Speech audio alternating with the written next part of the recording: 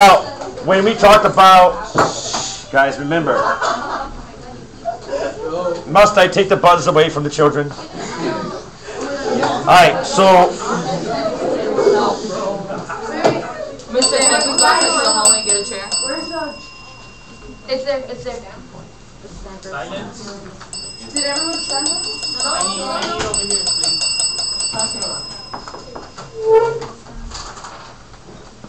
When we talk about evidence for evolution, I forgot to mention one. Those of you who have that, those of you who have that uh, co- concept map that we did that day, we never, I never added biogeography. Biogeography is that the actual uh, position of animals in the ecosystem across space and time is another evidence. That's actually something that, that Darwin used, right?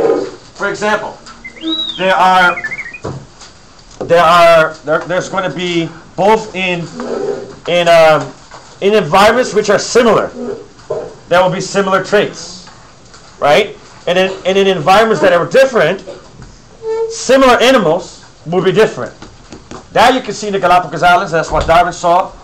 But he also saw. But there's also sugar gliders and flying squirrels in both wood-like land forests on completely different continents because the pressure is similar to be able to hover from tree to tree, right?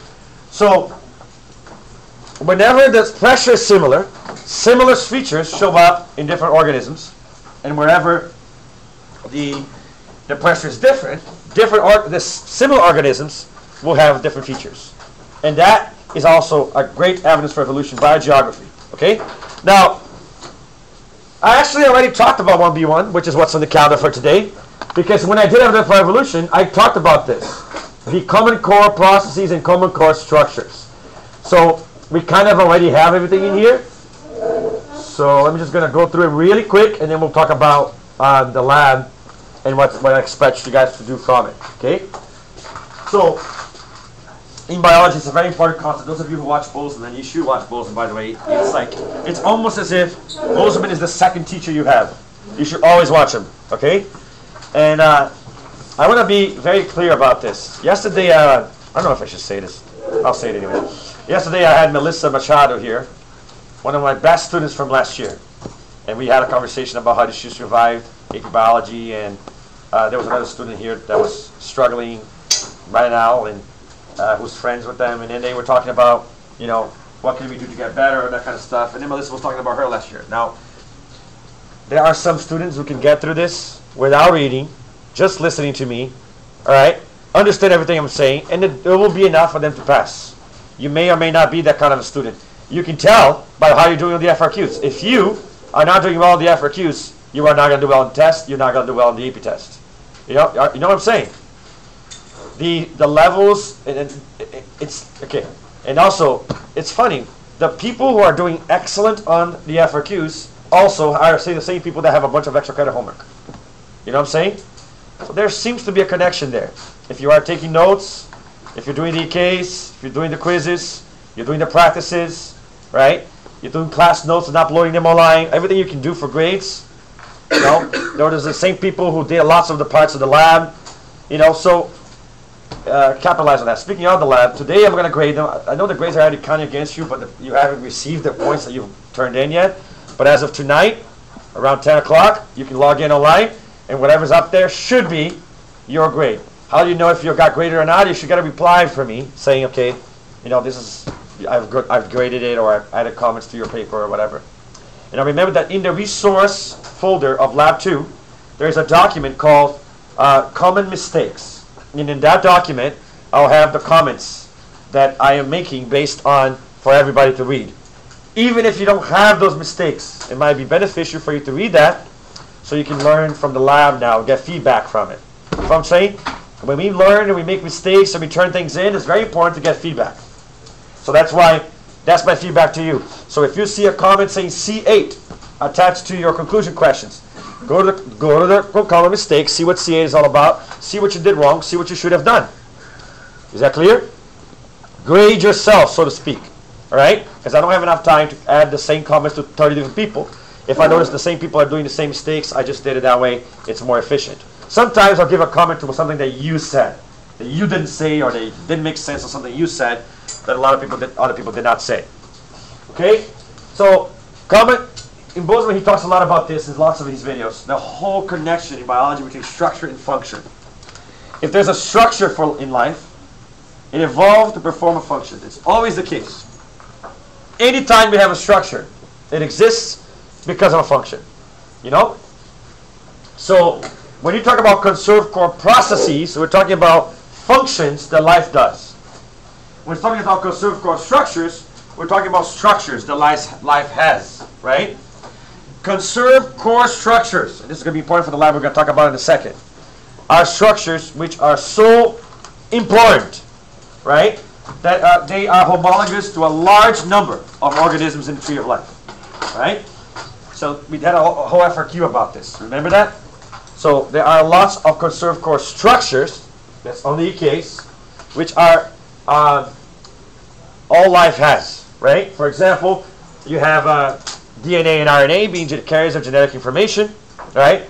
They have the same building blocks for that, the same nucleotides. All life forms have that, the same four nucleotides.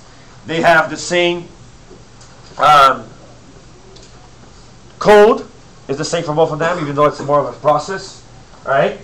So they have this. So they have the same proteins. Have the same 20 amino acids, right? Every single life form has ribosomes. Every single life form have two have membranes which are made of two layers, right? All life forms have the same similar enzymes that do glycolysis, right? So there's a lot of things which are the same. As far as conserved core processes that are the same for all life forms. Pretty much every life form on Earth reads the genetic code the same way. Does DNA replication the same way. Does protein synthesis the same basic way. Right? They all pretty much do glycolysis the same way. Right? The burning of sugar, so to speak. Right? And so these core metabolic processes are, are indication of the universality of life. Translation, transcription, DNA replication, RNA, RNA uh, um, acting as the bridge between DNA and, and, and, proteins, right? And metabolic pathways to make energy. ATP, universally the most important energy currency of the cell. That's more of a structure. Likewise, there are conserved core structures that show that all eukaryotes are connected. That all of them have cytoskeletons, a network of fibers that supports cell movement transport within the cell and cell structure, right? The organelles of the cell move around, tracking in roads made up of, of, cyto, of cytoplasmic cyto, cytoskeleton material. We'll show you a video on this when we do cytology later in the year. All the eukaryotes have membrane-bound organelles. They have endomembrane systems. The rough ER, the smooth ER, the nucleus, the Golgi apparatus and the vesicles, right? They all have these energy organelles, especially mitochondria. Some also have a secondary symbiont called chloroplasts, right? They also have linear chromosomes instead of circular chromosomes like all the bacteria do. And, it, and typically those chromosomes are paired, pair linear chromosomes. They're at least diploid, typically. They have. They also have um, the nuclear nucleus, right? And they have advanced protein synthesis processes, right? And in the case of eukaryotes, most of them will have the Krebs cycle, which happens inside the mitochondria, right? And so these types of metabolic processes that are unique and structures that are unique to eukaryotes show us that eukaryotes are, are all related. Now, something as important as glycolysis, which powers pretty much the cell because even though it's only produces a little bit of ATP, it's the beginning of breaking down a sugar. And you don't make, actually end up getting all the energy that you get through the Krebs cycle and the ETC unless you start it by doing glycolysis.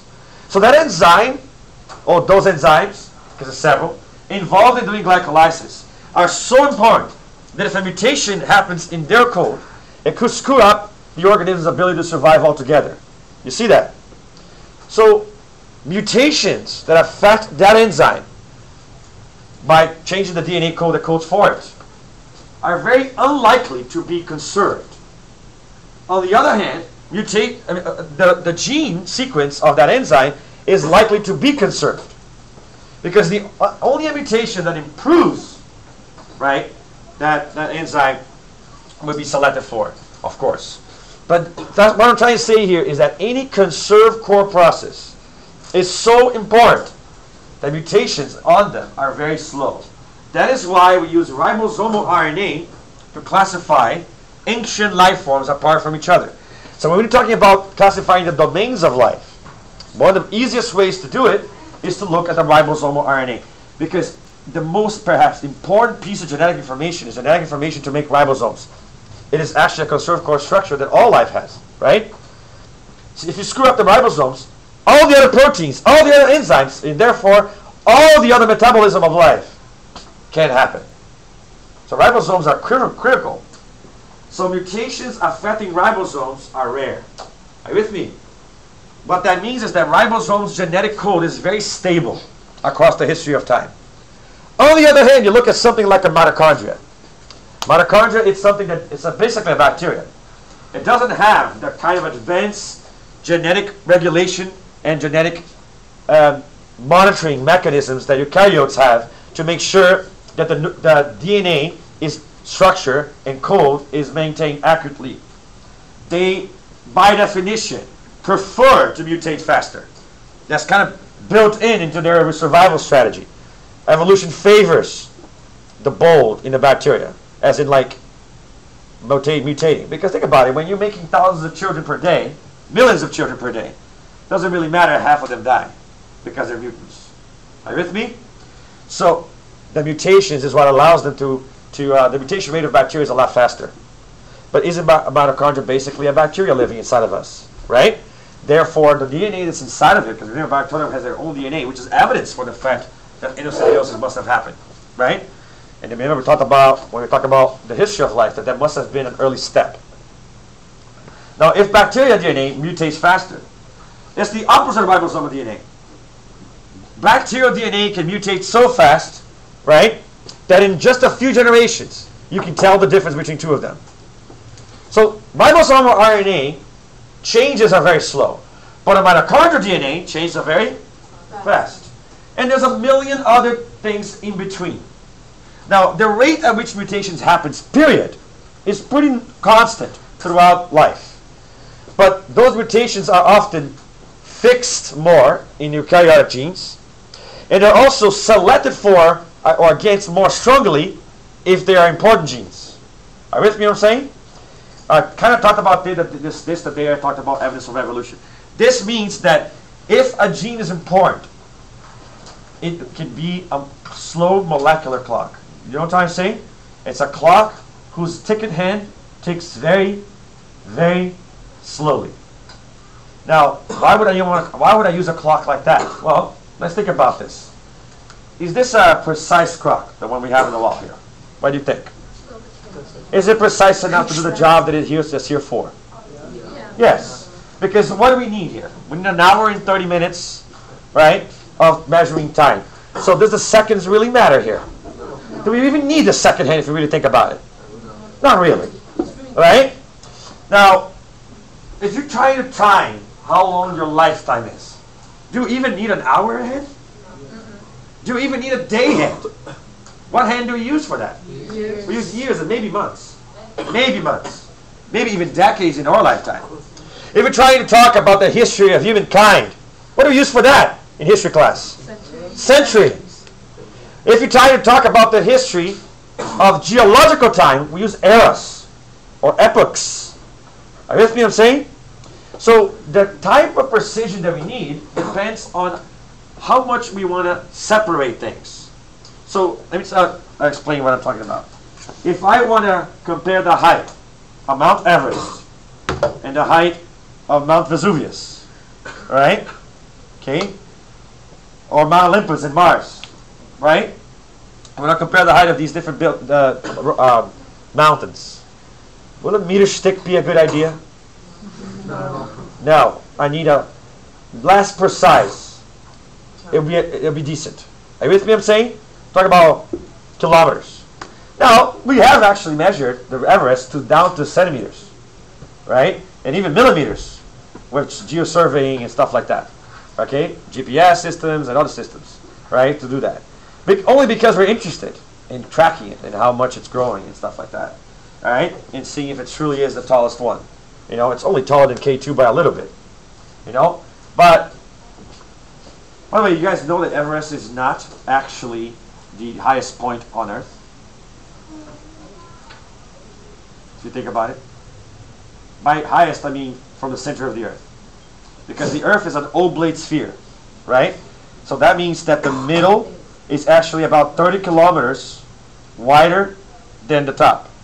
Everest is a little off the top. If you look at the globe that's rotating over here, right? Or my globe over there, you can do that. So Everest, Everest is actually almost the same latitude that we're at, actually. So it's about 30 degrees, 33 degrees north of the equator. So by then, it's actually a few kilometers closer to the nucleus, to the, center of the Earth, than, than the, uh, than say a mountain in Chile, in the Andes. So mountains in the Andes, uh, in uh, Ecuador, right, are actually taller if you measure from the center of the Earth. And if you measure from the base of the mountain to the top of the mountain, Everest loses again. Because there's, there's a, in Hawaii, there's a mountain that's almost 3,000 meters high, but it starts from the bottom of the Pacific, 10,000 feet below. Right? I broke the earth! It starts, it starts from uh, the bottom of the Pacific, 10,000, uh, so sorry if I call it earthquake. Okay? There's the sled again, they must not round. They were like, fall. Challenge accepted. Ah! I thought I had it. Wait, can I I usually, I I'm usually better at it. Can I move? Can I move? I'll do it later. Right? No. So, you can do it though if you want. Now, as I was saying, it's not, it's not actually the tallest mountain, but just a, just a curiosity thing. Well, it depends on how you decide your tallest is. If you talk about the size of the mountain, that mountain, I forgot the name of it, but the mountain in Hawaii would be would be a good example of something that's taller, that's taller than. Uh, anyway, it's the tallest above sea level point. It is the tallest point above sea level. If you start from sea level, then it would be. Well, it's just that the sea level is further from the center of the earth in some places than others, right? Now, if you really think about that, what that, it, oh, never mind. Okay, I'm, I'm navigating. I need to talk about biology. So, uh, deviating. I need to talk about biology. So, as, as I was saying before, I was talking about the Mount Everest. I was talking about measurements that you need to use, right? This is my point I was trying to drive across. Now, if I'm trying to tell the difference between these two things, do I use a meter stick now? Just a meter. No, I need a ruler that has millimeters in it.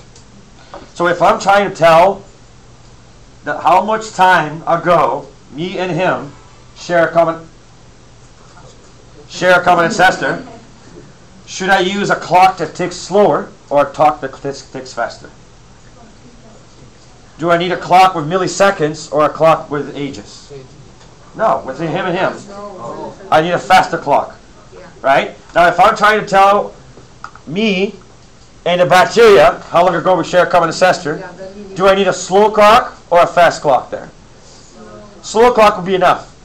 So, to separate me from the bacteria, I analyze ribosomal RNA. Right? But to separate myself from a branch that's right near me in the tree of life, it's better to use something that mutates faster. Because that can be more precise. Are you with me? Now, if you do that, you can actually find out exactly how long he and I, by looking at our mitochondrial DNA, we can actually see, because our mitochondria, at some point, we share a mother. Are you with me? My mother's mother, mother, mother, mother, because mitochondria gets passed down by the mother line because the, the sperm never goes inside the egg.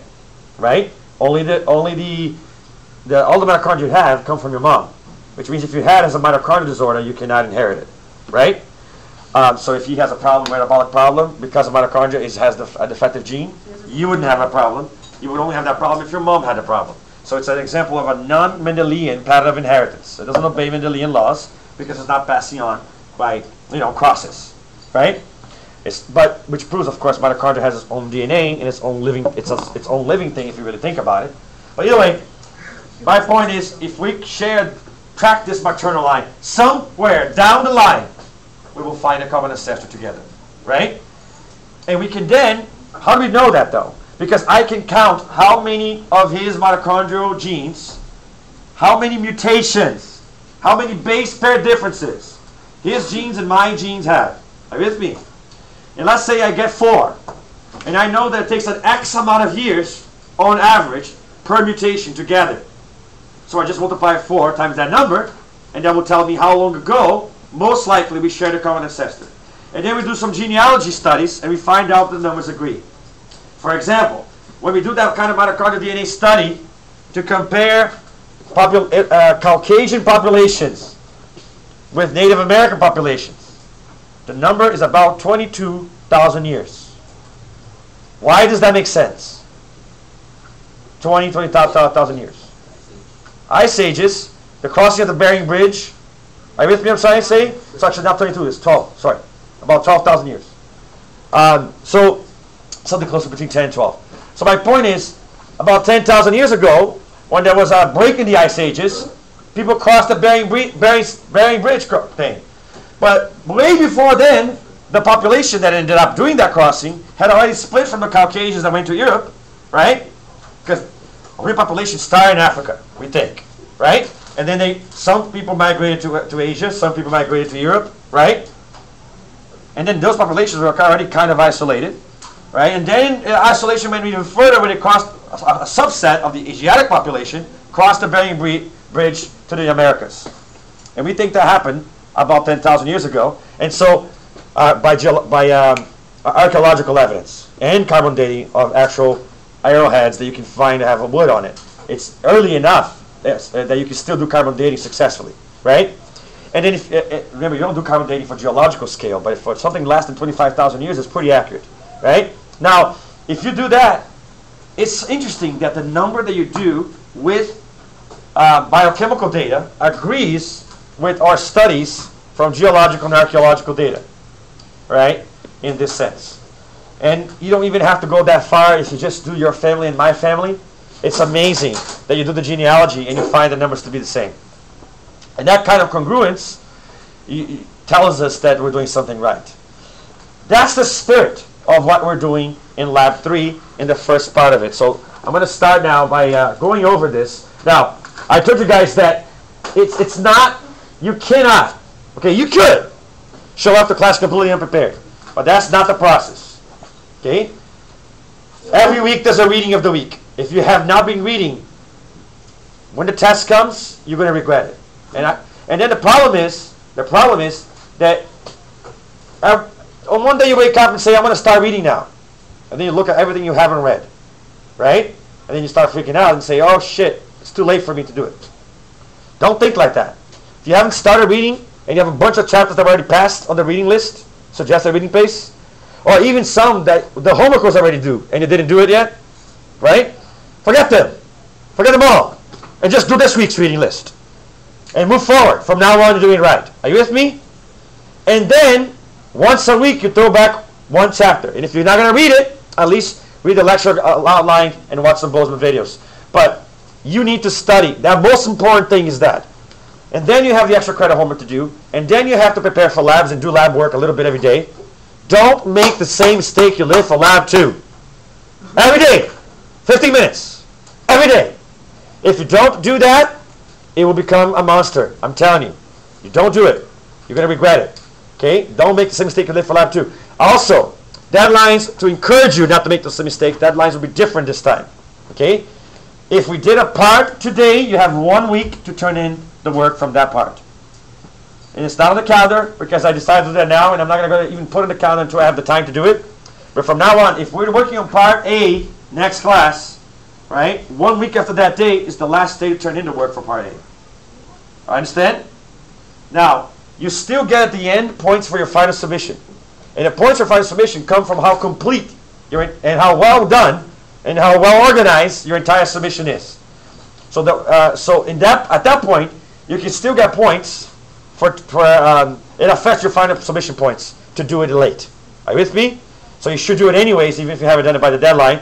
But the final submission is only the three points. So you you gotta do the part by when it's due, which is one week after we've done it in class. So today I'm to show you how to kind of uh, uh, use the system. Now, doing the pre-lab is not just um, what do you call um, su- su- summarize the background. You actually have to look through those resources. And then three, the three activities were designed to get you thinking about what um, what cladograms are really about, how trees of life are made, right? And there was uh, two Bozeman videos, one of them which he actually walks through the whole process. There's an NCBI video from the people that actually made it that explains how to use it. There's an HHMI video that explains how to use it. And then there's the actual uh, AP lab, investigative lab instructions. It doesn't take a night to do that. So people texting at 11:30 last night on how to do this. See, that's a problem. Okay? Meanwhile, I have other people on Sunday asking me Sunday, many days ago, asking me, Yo Lima, the links are not working. That's the spirit. Are you with me what I'm saying? Days before you need to stop thinking of deadlines as the day that you need to do it. Deadlines is the last day by which you should have. Should, that's the last day to turn it in. It is very dangerous to do that way. Think about. Think. I told you about this at the beginning of the year. Think about applying the same philosophy in other ways in your life. Okay. For example, the last day to do something that would be save that would save your life. You have three months to live, right? So you have three months to get things done. So you just keep counting the days. On the last day, you do something about it. Is that going to make a difference? Right? Or let's think about it another way. You have several days to apply for college, right? And then you say the deadline is January 2nd. And then on January 1st, you start contacting the teachers, writing your essays to get. Is that going to work? You have three months to finish building a road. Otherwise, you don't get the bonus, the double pay that you get if you're an engineer for building the road. Are you with me? And then they say if you finish it by January 1st, you get $2 billion. If you don't finish it, it's just $1 billion. Right? So December 1st, you start worrying about starting to build the road. Is that going to work? No. You're a doctor, okay? And you're trying to submit a paper for a research publication in a journal. And the last day to submit the paper is December 1st. All right? November 30th, you're writing the paper. Is that going to work? At some point in your life, you have to stop thinking of deadlines as the date by which you do things. All right? So you need to do. If the reading suggested reading list is at, they due every Saturday, you start on Monday, 30 minutes a day every day reading that for that. And reading is not just reading; it's studying, right? So whether and I, I have a lot of people in here that that have talked about this. Does reading reading doesn't work for me? Like you know that Campbell biology book is so dry, it's such tiny letters. All right. Then there's a folder called videos and web tutorials for every topic that has animations on it. There's the podcast folder with a billion teachers in there. All right. And then there's a worksheets folder. There, there is the review workbook. There's the lecture outlines. There's my videos. There are lots of other options. Now, on Biology 101 and 102, when you take microbiology, when you take uh, biochemistry, you take genetics, or whatever other thing you're going to take if you're going to go into this path. There's not going to be a teacher online with all these resources. It's the book. So at what point you're going to start transitioning if you're going to be in higher education in sciences, all right? And if you're not doing sciences, the same thing for whatever you're doing. If you're going to do into social studies, are you with me? So at some point you're going to get used to doing the book, all right? Having said that, my uh, my fiance takes um, is taking uh, master courses, and there's books for her to read. They don't always read the book, right? Sometimes you can just get away without reading it, or reading just enough of it to get through it. Are you with me? I'm saying you do what you can. But the point of it is, should you have had the time to actually read the book, do you think you learn more? Yes. It's one more way for you to learn. Ideally, you do all of it. Well, who has that time? So you find the thing that works best for you right now. And right now, you have lots of options. But you should also read the book. And I tell you, there's a lot of correlation between the kids that do it and the kids that get great scores. That's all I'm going to say. And then, lab two. Now, it will be very hard for you to follow along on the video on what I'm doing over here. That's three, actually. Uh, but today all I want to talk about is the expectations for the lab. What are you supposed to do in all of this? Okay? So we're going to hold on a second. Scrolling down. Now this is all stuff you should have done already. Okay? Now these three things here, that's why I said including all activities, list of investigative labs, actually turning in work is extra credit. Because all this is really is a pre, is an activity that you're doing to learn about cladograms. There's nothing really that you can do to get points for it on some of them, right? But any evidence that you've actually done, I'll give you a, I'll give you a point. That's what that's all about. Okay. Now these it takes time to go through these resources. Like even only one video of this. There's the HDMI. This video right here. Review this video right here. That alone is like nine minutes or something like that. So you can't do this in one day. Just spending 50 minutes a day in the lab. Okay? It's not the ideal thing to do. Now, let's look over these activities. Yes, what happened? The, um, That works, right? Yes. for the extra credit, um, I, I didn't know we were supposed to write down my questions for work, but Uh-huh. I printed out the last page of the thing. Okay. The first says that it's It's extra credit. I'll give it to you if there's any evidence that you've done it. Okay. So, let's look at let's look at these things. Are they young? Okay.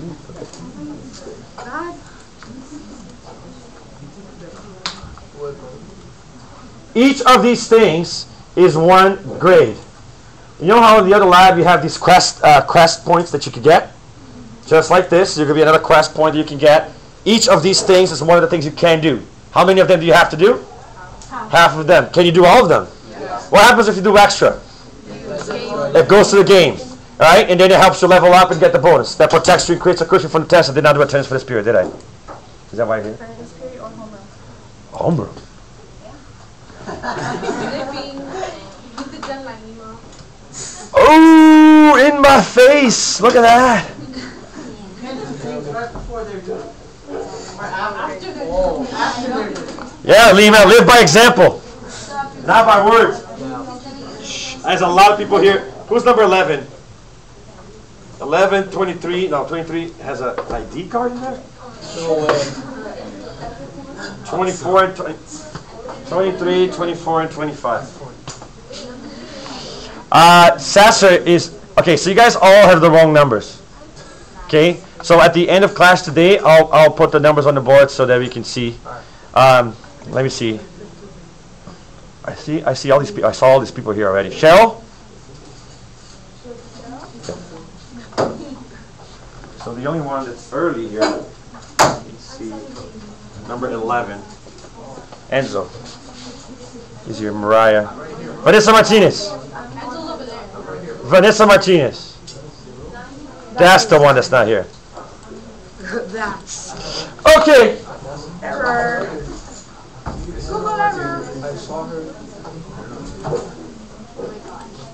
All right, so let me show you a few of them. So this is the first one. Okay, this is actually a very easy one. In the beginning, it will walk you through how trees of life are built. Right? So, huh? Well, it's a it's a quest point. Yes, it's a stop on your quest. Yes. All right. So as you're walking through the forest, you see a pot like sitting in front of you. There is papers that tell you how to do cladograms. Do you choose to engage or not? Right? So say the dungeon master, and then that's when you say, "Yes, sure." Okay, roll an initiative. Never mind. Okay. Have you ever played Dungeons and Dragons? Raise your hand if you have. Oh, the lack of childhood. Seriously, imagination, man. It's like having an adventure. It is really fun. All right, so it tells you. It tells you how to create the tree of life in the process of actually doing it. All right. So then, these animals are animals that you have to classify. Now, in this particular activity, there is no right answer. You do not have to classify the same way a true biologist would classify them. You are creating the criteria that you're using to split them. Are you with me? So that's how you're supposed to do. So you're supposed to put them all in a tree of life. So it all starts with something simple, like they say here. You pick a characteristic. So you could say for they're, they're all mammals, I think. So you could say for oh no, they're not. All right, so you could be like, okay, vertebrate versus invertebrate, and that could be your first split. And then what you do on on paper, by the way, the best way to do this is actually cut them all out, all right, and put them in piles. So, so, so you literally put it, this table would be ideal to do because you can even write on them. So you can just put vertebrates, non-vertebrates, and that's your first split. Then you worry about those later. Let's talk about the invertebrates, all right? And you say radial symmetry versus bilateral symmetry, right? Then you put everybody that has radial symmetry one way, everybody with bilateral symmetry the other way, right? But I still have three that have radial symmetry. So then you say um, complex brain, non-complex brain. You see, you come up with ways to slowly but surely, one split at a time, do what? Separate them all in one branch each, right? But anybody that's in a faraway branch would have to have all of these steps saying yes. You, so you're creating a dichotomous key as you go through it. To are you with me? I'm saying, and splitting them in that that. That's the first activity. And this do yes. Mhm. Yes. Go ahead. If we do, if, we do that, can we take a picture and then attach it to the, Well, actually, that's that is what you do. You're supposed to do it, take a picture, answer the questions, and that's how you do it. Yes. Okay. Okay. Super easy. Yes. Yes. Okay, um, this lab is for the first semester as well? Well, that's due next week. No, yeah, yeah, I'm saying like the whole entire lab. No, we're not gonna. The final submission won't be due by the end of this quarter. Yes. Part A is due next week or just? Actually, part A is due a week after Monday. Yeah, because we see each other Monday, correct? Right. Uh, so the next a week after that, part A we do. Yes. So, like, okay, so the part A, part B, like, it's three points, but will it, it will affect our grade too, right? No, it's due, but it, it doesn't affect your grade. Really? We have limited time. It's an early release day. Why would you ask such a question? All right. so When we submit pictures, do you want us to put like, like, put the picture in a Google Docs? Everything. Hey, from now on, I told you, everything goes in one single Google document document that you're doing little by little. Are you with me? So today's pre-lab, you put in the document, and then you put part A, activity one, put in the document, right? By the way, the activity has questions too. It's not just the picture, right? You have to answer questions and stuff. All right, look, look at this one. Yes. So we have to, Sorry. uh, dichotomous P two, and it was. whatever it says to do. Okay? Now, on this one, you're given, um, it's not letting me see, okay, there it is. On this one, it's a little different. They teach you how, I like this one even better than the other one, because they actually teach you how to, to build good trees, which is actually something that we have to do to, have to, do to uh, understand how this works. And then in the FRQ, you're going to get be given this for sure soon, but I'm going to go over that next class, because the next class is 1B2, and so I'm going to go over that next class. But this activity we'll go over it before then. It's actually be a good idea for you guys to do this one before next class. All right? So check out how this works. Basically, you're supposed to identify for each organism listed, you pick certain characteristics. And then you list yes or no on the characteristics for each organism. Are you with me? Look at the example that they did. All right? So there's definitely different organisms, and I pick different characteristics. All right? It's okay. I, I pick different characteristics. Are you with me? So, for example, they picked body shape, they picked color, the head color. I could pick different things, but they picked different characteristics, and they basically say what the characteristics the organism has, right? Then you can sort this by which organism has yes to most, or by you know what I'm saying? And then you can uh, because whoever has most of the characteristics would have to be a higher step on your tree. Are you with me? Whoever has less characteristics should be early in your tree. Are you with me? Okay. So that's another way to do it. So you see this guy? Look at the way they did it. This is brilliant. So this E and A has seven characteristics in common. Are you with me? What does that mean about E and A? They have to be what? close together? Close together. Oh, actually, is this the number of differences? Let me let me count first. They're differences. Okay. So that forget that then. Okay. So then, who is supposed to be really close together? A and B, and that's what they did over here.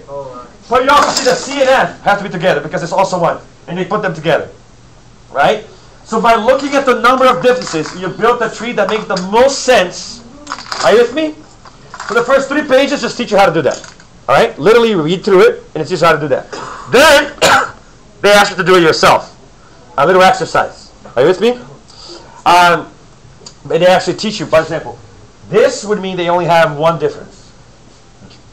but A and C are connected two steps away from each other. So if, if you forget the other ones, it would be two steps away. So let's say that, that, that A and C did not, there was no B and there was no F, but A and C have two differences. So you would draw it like this. C and A, and you would draw it longer. Then you would draw A and B. So A and B you draw close because they're close together. Are you with me? So even so things that have even if B and F were like D and E here, all right? Because that means that yes, they're connected, but they're not so close as A and B are close. So when you do this, that's how you built it. They're teaching you how to do it. We know that A and B have to be really close. We know that C and F have to be really close, right? And you know that A and C have to be really close because A and C would have been like this. Therefore, it's like this, all put together, right? B, minor, D, and E are really far apart. So then I put that together, and then you see, it teaches you how to do it, all right?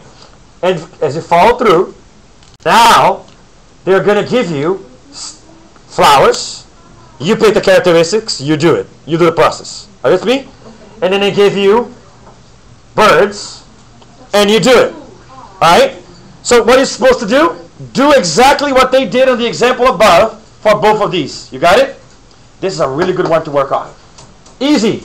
You have a weekend and some a little days to do it. Now, this is the Whippo evolution example.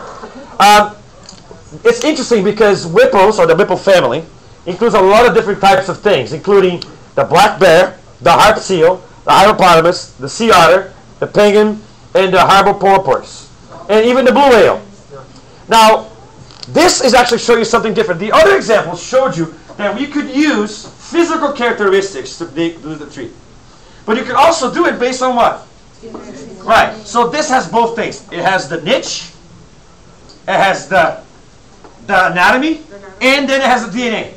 So looking at the total combination of evidence, you have to decide how to build a tree with them. Are you with me? So that's the, the chart that you use to create the information. On the other two handouts, it has the instructions and then the, the, the questions, right? That's a good one too. So I like it because the first one is just like no right answer, just have fun with it. The second one help build your skill of how to build trees based on criteria of differences and similarities. The third one adds the DNA and the niche to it, right? And then this one, bioinformatics one. That's like, okay, now I'm an AP biology student. Let's do this right. Let's do a real clear of life using DNA information and stuff like that. So, and they tell, so they, basically they tell you to do it with humans. Are you with me? They tell you to do it with humans, and just do it if you think you know it. All right? Everything you need is over here. Yes. So you said in a week, the whole part A is completed. Like a week after. a Yes, but how much do you have to do? That's right. Only half of part A? No. The whole thing is due, but half is required. Right? It's not this Monday. It's the other Monday. I don't know. I mean, it's yes, yes. Now, notice though that this last one, shh, hey, this last questions like that can be silly questions, so you don't waste class time, right? This one right here is extra. Now, remember in the lab, half is already extra if you think about it, because you only have to do half. But when you have this extra here, what that means is that that one does not count for the point total, right? So in this particular lab, you can go technically you can go over the point total. You can do 22 out of 20 if that's. Yeah, are you with me? Okay. This is a different monster altogether. So I'm going to try my best to reserve the computer lab next class. If so, you will be notified by by um, Sally that you're supposed to report there instead of reporting here. Okay? And then if, so, you have to bring on a flash drive those gene files that you already, that I already gave it to you, so we can play with this together next class. All right? But basically, you're gonna look in the in the handout of the AP Investigative Lab. They have like this. You should both read through it, right? You're supposed to have to write the whole thing. So they have this little cladogram of this fossil that was found, right? And in this fossil, they found four genes. They actually found some tissue, some soft tissue, and they got four genes out of it. And they analyzed, and what we're going to do is we're going to analyze these genes using the, the, using BLAST. and to try to find which branch of the tree of life this fossil belongs to. Now you can kind of tell from the shape of the skeleton and compared to the skeletons of the other ones, and it kind of it's, it's, it's hard to tell. Looking at it, it could be a bird, it could be a reptile, it could be even maybe an early mammal. We don't know, right? But we're trying to find out. So what's the process? The first step is you're going to literally build the tree of life, the same one that's in the paper, in the, right? And you're going to put them right here. It's like I think it's here. You're just going to make a prediction, right? I think it belongs right here, a branch off this branch. Are you with me? Then you're going to collect the data using the procedures as listed in the instruction manual. You're going to run blast for all genes 1 through 4, okay? And no actual proof is required that you're running it because there's no way to prove it. Uh, as- but I'm actually changing the criteria because you can take a snapshot of your run and place it on the document. Okay? Now, so results. Presenting evidence from BLAST to support your analysis statement that would be cited below. Okay? Enough evidence considering all requirements listed below, as well as additional written explanations uh, that you feel may be required for each blast in general. In addition, screenshots, printouts of each blast result, the tree view, all of that kind of stuff should be included. When you run blast, all of these things are things you can do. Basically, you're going to collect evidence from blast and from your logic and everything to support the analysis you're going to try to do it at the end. Right? So that is what you need to do. You have to write a, write a report. There's no criteria for this. You just have to do it. You have to convince me with evidence that your final analysis is right. You right? Or not wrong. Okay. So, next class, as we go into the by the way, I already introduced part A. So, uh, and it's supposed to be a week from today, but I'll give you a week from Monday to do on that. Part B will be on Monday. We're going to go over it, all right? And then I'll give you not to the Monday, but to the week after that Monday. So two weeks after that Monday to finish Part B, all right? Part C will only be due for a long time from now, okay? But next class we'll talk about Part B, and next class we'll also talk about phylogenetic trees and why is it that biologists today no longer classify things in groups? We don't put things necessarily. Well, we still do it because we talk about reptiles and they're a group, but it's more, it's smarter. Instead of using classification, to actually use trees of life, which tells us the history that the organism is going, um, and the, the history that he's been through. We'll talk more about this next time. Do not do that in the middle of a of a speech. No, it doesn't matter. I'm just you to say right now. Okay? It's rude, right? You wait for a pause and then you press. Okay? Okay. Yes. Yes. I was introducing both things today. What matters is that you have to do part A by not this Monday, the Monday after, and then the Monday after, part B will be due. Is that clear? It's not five, you have to do two. Right? Four is what you can do. Five is an extra one. Two are required. Right? If you're going to do two, you can do the two easier ones. Right? But really, the bioinformatics one is what you should be shooting for. And that's why it's worth more. Okay, the bioinformatics one is worth two points. All right, guys, see you later.